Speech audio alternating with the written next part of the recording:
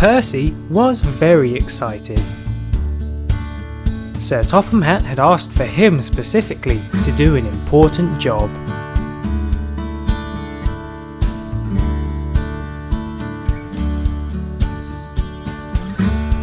Hello, sir, said Percy.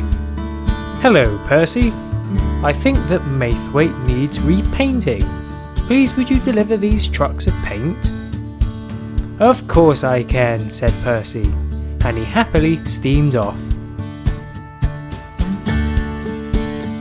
He reversed into the trucks, and his driver coupled him up.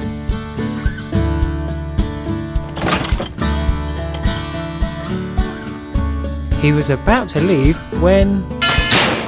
Oh no, the coupling broke, said Percy. But he had an idea. He could push them instead.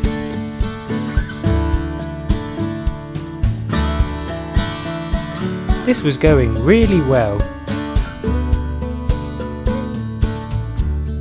The only problem was that he couldn't see where he was going and he was heading towards the track crossing. Unfortunately, so was Thomas.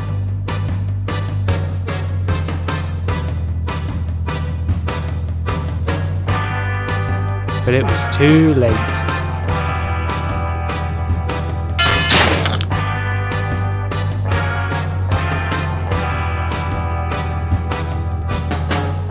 Percy slowly opened his eyes Hey, I didn't get a single drop of paint on me, he said.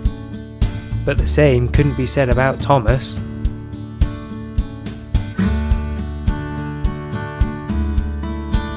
Ah, oh, look at me, cried Thomas. I'm so sorry, Thomas, apologised Percy. Hmm, replied Thomas, and he reversed off. Percy felt really bad about this. The worst part was that he had to go and pick up Annie and Clarabelle now to start his job for the day. And he had to do it covered in paint. And everywhere he went, people were laughing at him.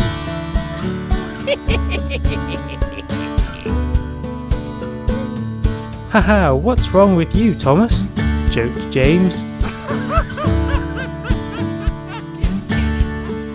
Even the trucks laughed at him.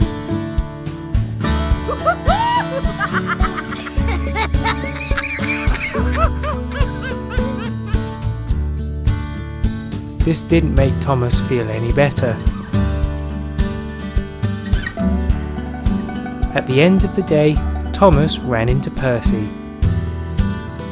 Thomas, when you're done, meet me over here. I have a surprise for you. Okay, sighed Thomas, and he went off to finish his job. He's gonna love this, thought Percy. Soon, Thomas returned, and he couldn't believe his eyes. Surprise! Hi, Thomas. I explained what happened this morning, and Chase, Pepper, and Bob. oh, sorry, I mean King Bob wanted to help you clean up. So they filled a truck with soapy water, grabbed a cloth and started cleaning. Thomas looked good as new in no time. Thank you everyone, he said.